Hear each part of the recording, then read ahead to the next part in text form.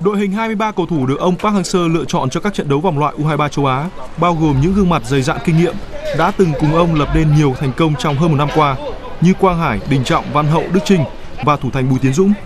Nhưng điều đáng lo ngại nhất là phần lớn lực lượng còn lại được đôn lên từ lứa U22 quốc gia. Họ đã chơi bóng cùng nhau khá lâu nhưng không chứng tỏ được nhiều tiến bộ khi thất bại liên tiếp ở các giải đấu trong khu vực. Vậy thì họ thua sút về năng lực thực sự hay đơn giản là có quá ít cơ hội được ra sân trong màu áo câu lạc bộ của mình? Ông Park đã đưa ra những ý kiến. Lực lượng cầu thủ hiện nay thể hình có vẻ tốt hơn so với lứa ở Thường Châu.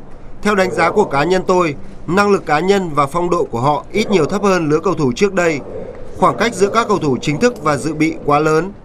Lứa cầu thủ Thường Châu đa số đều được đá thường xuyên ở các đội bóng ở V-League. Các cầu thủ hiện nay phần lớn thuộc V-League và hạng dưới, nhưng ít được thi đấu nên tôi hơi lo về phong độ. Họ không được chơi thường xuyên nên có thể gặp vấn đề.